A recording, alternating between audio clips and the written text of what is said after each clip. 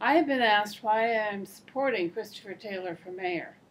I've lived here in Ann Arbor since I came to college and have been active in local politics for 40 years. My friend Chris Taylor is one of the finest public servants I have known. When a person is elected to office, the job is to govern, not to play politics. Chris has an independent mind and he carefully considers all the issues. He is intelligent and has sound judgment. I will be proud to call him Mayor Taylor, and I hope that you will join me in voting for Christopher Taylor on Tuesday, August 5th.